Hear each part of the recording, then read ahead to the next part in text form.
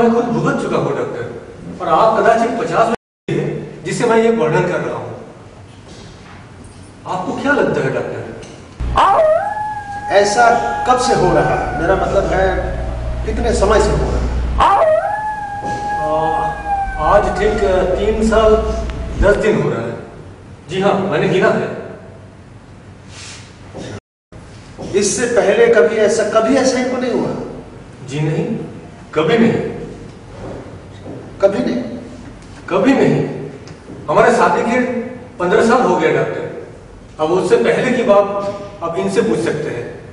अब तीरथ राम जी उनके बड़े भाई इंजीनियर है। जी नहीं कभी नहीं। ओके। एक और महत्वपूर्ण बात मैं आपसे पूछना चाहूँगा। कि आपके परिवार में इस तरह की घटनाएँ पहले कभी हुई हो ऐसा आपको कुछ याद आता है? परिवार यानी ब्लड रिलेशन जी हाँ। जी नहीं। न माता जी की तरफ़ न पिताजी की तरफ़। हम सभी हैरान। कुछ भी तो समझ में नहीं आ रहा है। आप तो इस रोग के बड़े नामी डॉक्टर हैं। आपने तो ऐसे बहुत सारे मरीजों का इलाज किया होगा ओके तो तीरथ राम जी तीरथ ने बताया ना आपने मैं ये कह रहा था तीरथ राम जी कि इस केस में दो महत्वपूर्ण बातें हैं। हम्म? पहली बात हर नवमी तिथि को यानी कि ninth lunar day only in darker half doctor यानी कि कृष्ण पक्ष की नवमी की रात को ही। हाँ मैंने यही लिखा है मैंने यही लिखा है। तो उस दिन को इन्हें दौरा पड़ता है। और दूसरी बात कि तब इनकी आवाज़, इनका बर्ताव, सब कुछ इनकी सहेली निशा की तरह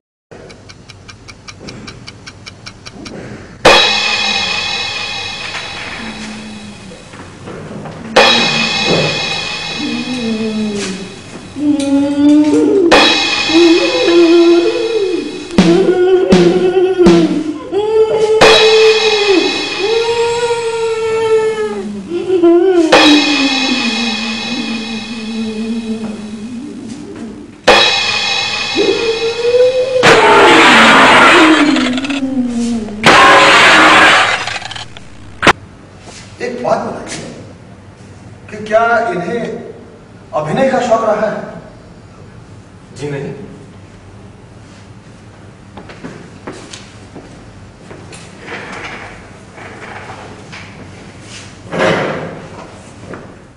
क्योंकि इनका व्यक्तित्व इनकी सहेली निशा की तरह हो जाता है ये दिखाता है कि ये निशा का खूबसूरत अभिनय कर लेकिन लेकिन ये सब निशा की मौत के बाद ही क्यों? क्योंकि निशा से बेहद लगाव था। लगाव तो इन्हें मुझसे भी बहुत है। हमारी लव मैरिज है।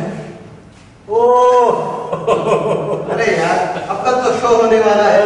यार तीरथ राम जी का डायलॉग है। लगाव तो मैंने मेरे स्वर्गीय पिताजी से देखा था मगर उनका हमने इसमें कभी सॉरी सॉरी सॉरी अरे यार बोलिए सर कैसा था? अरे बढ़िया। अरे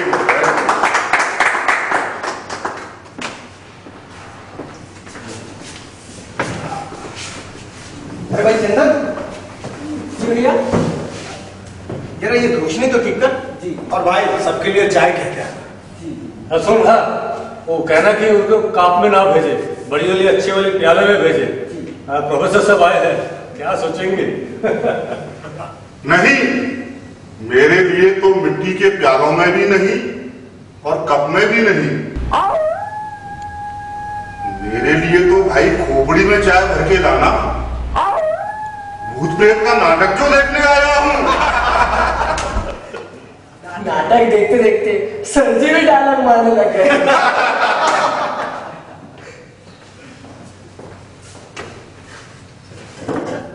अच्छा सर एक बात बताइए नाटक कैसा लगा आपको? नाटक तो भाई नाटक है नाटक ही तो है। अरे नहीं नहीं सर ऐसे नहीं। आपका रिएक्शन क्या है? भाई, पहली बात तो ये there is no proof that ghost exist ghost is a ghost and because it is a ghost it can never exist वैसे तो अपने पेट या सर का दर्द भी साबित नहीं हो सकता। बट इट इज़ अ अब डॉक्टर अगर पूछे कि दिखाओ अपना सर दर्द तो आप क्या दिखाएँगे? और फिर ऐसी कौन सी मशीन है जो सर दर्द या फ्रैक्चर के दर्द को साबित कर सके? There are certain realities which can not be proved in machine और फ़िज़िकल मेथड्स भाई सोहन जी, आप तो तर्क शास्त्री हैं और तर्क से रात को दिन भी साबित कर सकते हैं। भाई मैं तो इतिहास का प्रोफेसर हूँ। मैं आपसे बहस करना नहीं चाहता। मैं तो यहाँ पर इसलिए आया हूँ कि संतराम मेरे का दोस्त है और कल उसके पचासवें नाटक का पहला शो है। कॉलेज के जमाने से ड्रामा डायरेक्ट करता आ रहा है। ग्रेट डायरेक्टर मगर वो है कहाँ? उन्होंने कहा था कि आपको नौ बजे कहीं जाना है, इसलिए रिहर्सल करना शुरू कर दिया जाए। ये कि वो आठ, साढ़े आठ के बीच में यहाँ पहुँच जाएँगे। आते ही होंगे? श्रीमती संतराम भी आ रही है। अच्छा तो दोनों साथ आ रहे हैं? गुड राधा भी कॉलेज में पढ़ती थी। संतराम को जितना ड्रामा से प्यार है, राधा को भी उतना ही था। बस दोनों की शादी हो गई। मगर वो है कहाँ? लगता है कहीं अटक गए अच्छा सर, लगता है चाय में कुछ देर लगेगी। अगर आप कहें तो रिहर्सल आगे बढ़ाते दें कि अभी भी तीस मिनट का करीब ड्रामा बाकी है हाँ हाँ शुरू करो भाई। ओके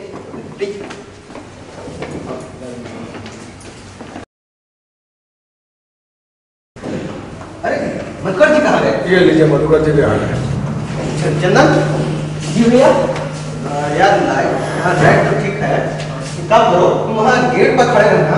बीच में अगर चाय वाला आए तो की शोर ना बजाए ठीक है? तो चलिए डॉक्टर साहब आप करते हैं जरा क्यों दीजिए तो कहाँ थे मतलब कैसे कहाँ से शुरू करना है? क्योंकि निशा से इन्हें बेहद लगाव था। क्योंकि निशा से इन्हें बेहद लगाव था। लगाव तो इसे मेरे स्वर्गीय पिताजी से भी बहुत था। इनका अभिनय उसने कभी नहीं किया। लगाव तो इन्हें मुझसे भी बहुत है। हमारी लव मैरिज है। लेकिन ये मेरा अभिनय कभी नहीं करती। क्योंकि निशा का इन पर बेहद प्रभाव है। It is the impact of निशा। नहीं। मुझे तो लगता है डॉक्टर ये मामला कुछ और ही है। क्या लगता है? आप क्या कह रहे हैं? हमें कुछ समझ में नहीं आ रहा है। लेकिन हम इंग्लैंड अमेरिका जहाँ भी गए वहाँ आस पड़ोस के लोगों ने यही बताया कि ये निशा का इम्पैक्ट नहीं बल्कि ये निशा का निशा का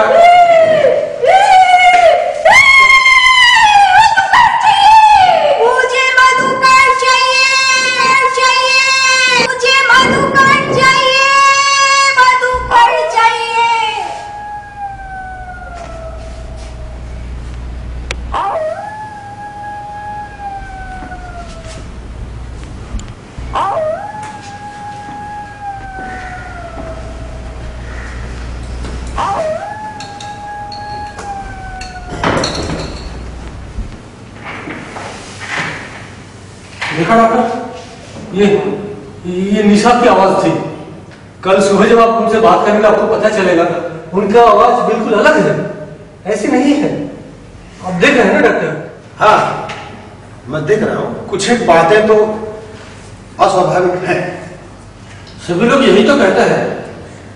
मगर इसका मतलब ये नहीं होता कि इन पर निशा का भूत आ गया this is the case of parapsychology लेकिन हमें तो ये बताइए डॉक्टर हम क्या करें?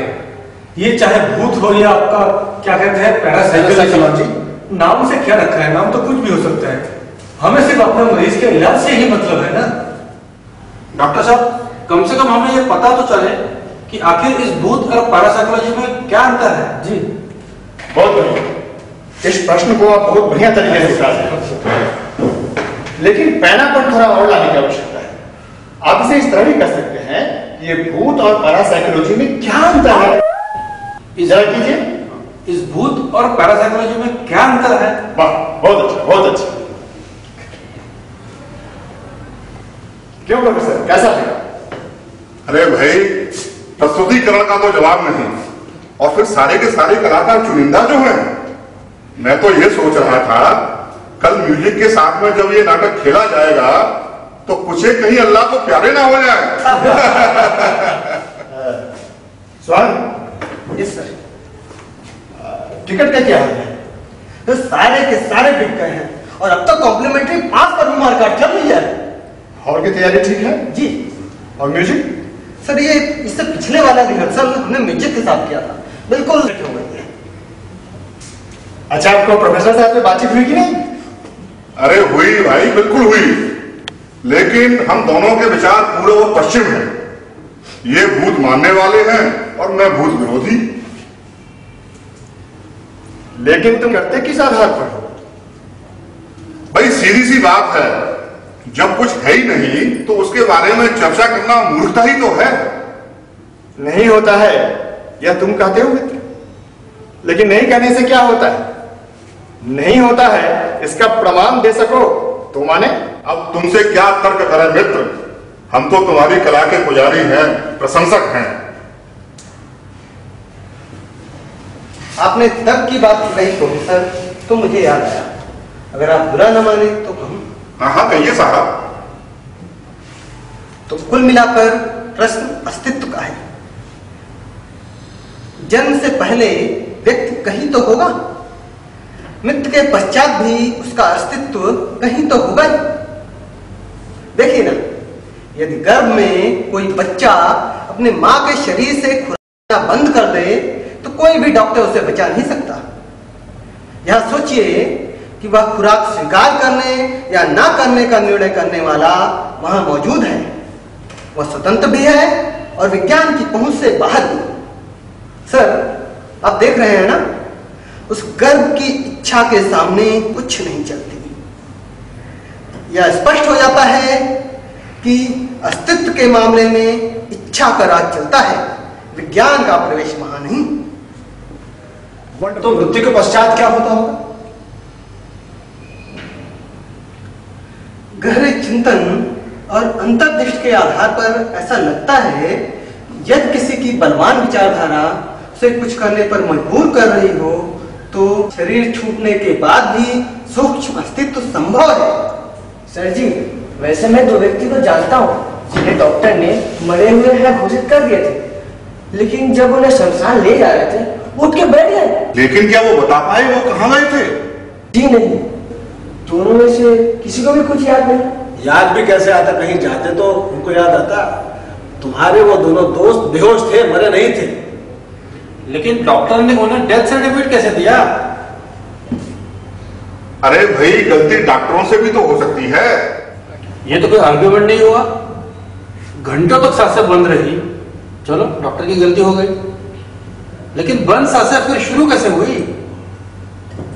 देखो मित्रों लड़ाई भिड़ाई से इस समस्या का समाधान होने वाला नहीं। जो लोग मानते हैं कि भूत है उन्हें डरने की ज़रूरत नहीं।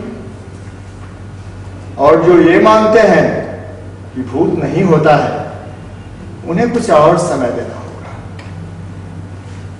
जैसा कि मैं हमेशा कहता हूँ, प्रत्यक्ष प्रमाण न हो, फिर भी सत्य सत्य ही होता है।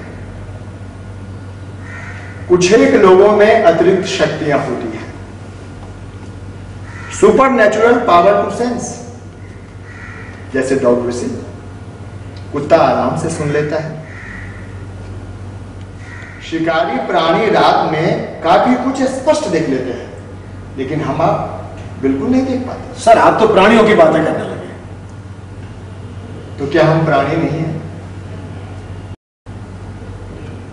काम क्रोध मद मोह लोभ। किस बात में हम प्राणी शामिल नहीं होते?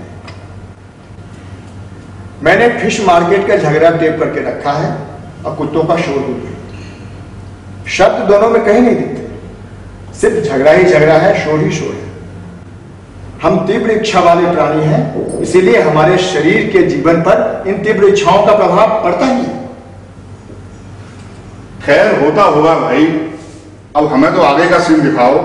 लगता है मैं सब लोग मेरी राह देखते होंगे। मुझे तो लगता है ये आगे का सीन देखकर तुम जा नहीं पाओ। कहीं मर मत जाना। सर एक बात माननी पड़ेगी। आपने ये आखिरी दृश्य ऐसा धाकर बिठाया है, ऐसा धाकर बिठाया है कि प्रशंसा के लिए शब्द ही नहीं मिलते। सर, ऐसा लगता है कि आप बहुत थक गए हैं। और इट इज़ माई फीलिंग कितना कुछ सब छोड़ छाड़ के आ गया। अच्छा चंदन जी भैया अच्छा एक काम करो, वो टॉयलेट का दरवाज़ा बंद कर देना। और ये छत वाला दरवाज़ा भी बंद ही रखना इस आखिरी सीन में रोशनी बहुत फैलनी नहीं चाहिए जी ठीक है? और अच्छा तुम्हारी रिस्पॉन्सिबिलिटी बहुत बढ़ा रहा हूँ। चाहे तो लिख लो ठीक है? इस आखिरी सीन में म्यूज़िक में सिर्फ़ नगाड़े बजाने हैं।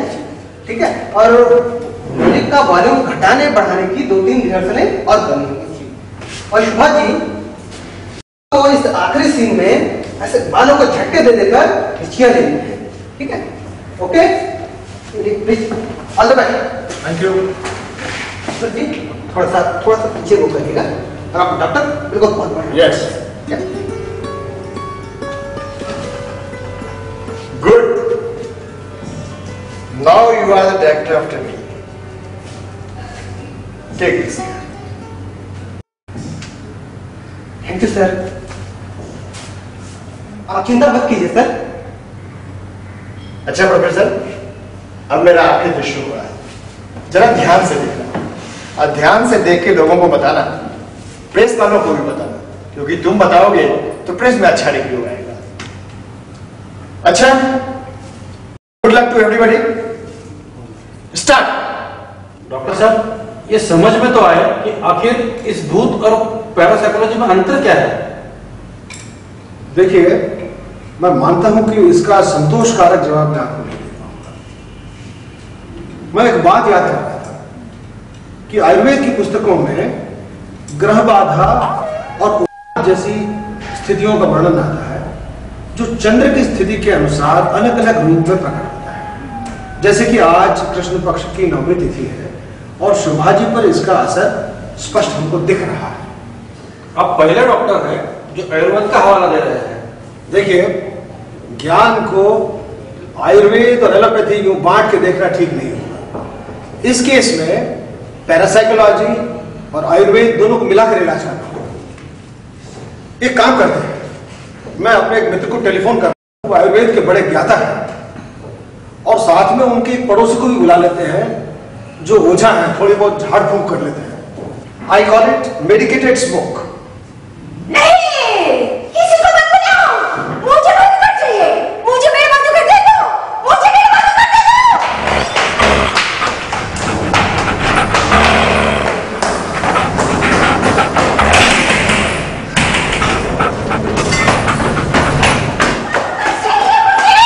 शुभा शुभा जल्दी चलो जल्दी चलो बात क्या है राधा जी दर्द हो गया मैंने बहुत उठाया मैंने बहुत कोशिश की उठाने की उठते ही नहीं हम दोनों स्कूटर पे आ रहे थे कि अचानक स्लिप हो गया पीछे से कार आई और ऊपर से निकल गई किसके ऊपर से उनके ऊपर से तो एंबुलेंस आई है क्या नहीं वो वही चौराहे पर नीचे पड़े मैंने मैंने चौकीदार को एंबुलेंस के लिए कहा और फिर मैं भाग कर आप लोगों के पास आई हूँ आप लोगों की मदद के लिए प्लीज़ जल्दी चलिए जल्दी चलिए आप लोग रुक क्यों गए चलिए उनका पूरा दाया हिस्सा कट चुका है और सर भी लेकिन संजना जी तो पिछले पंद्रह मिनट से हमारे साथ यही है। यस यस यस राधा मैंने अभी दो मिनट पहले उनको डायरेक्टर की सीट पे बैठे देखा है। कैसे हो सकता है? Radha ji see this cab ये उन्होंने अभी अभी अपने हाथ से सोहन भाई को दी। और ये भी कहा कि मेरी रिस्पॉन्सिबिलिटी अब बढ़ने वाली है। ओह ओह। ये क्या? ये तो ये तो उन्होंने पहन रखी थी जब वो स्कूटर चला रहे थे। मगर मगर ये अरे ऐसी एक दूसरी कैब भी तो हो सकती है। हाँ एक जैसे दो कैब भी तो हो सकता है। लेकिन ये कैप तो हमारे सबके सामने संतराम जी अपने सर से उतारकर सोन भाई को पड़ा पहनाया है। वो वो यहाँ कब आए? ये ही। Was here very much here दी है। लेकिन वो यहाँ आए कब? मैंने सब मैंने चंदन को हिदायत दी थी कि वो वहाँ दरवाजे पर खड़े रहे और शायद चाय वाले को छोड़कर और कोई नहीं आया था। क्यों चंदन? जी हाँ अगर संतराम जी बाहर जाते तो मुझे पता चल लेकिन वो तो गया नहीं। तो क्या वो लेकिन एक जैसे दो आदमी तो नहीं हो सकते ना। वो वो वो वो यहाँ आए थे। चंदन वो वो गए कहाँ? तुम्हें दरवाजे पर थे ना? जी हाँ जब तक राधा दीदी ने मुझे धक्का नहीं दिया मैं तो वहीं पर खड़ा था। तब तो, तो कोई आया भी नहीं और कोई गया भी नहीं। आओ चलो भाई जरा टॉयलेट में देख लेते हैं। ठहरो। अब कहीं जाने से कोई फ़ायदा नहीं। मेरे जीवन का अंतिम शो खत्म हो चुका है। बट शो मस्ट गो तुम्हें याद है ना? मैंने तुम्हें क्या रेस्पॉन्सिबिलिटी दी थी? Now you are the director after me क्यों प्रोफेसर क्या हुआ? अब तुम इसे मानो shi ya nama ne.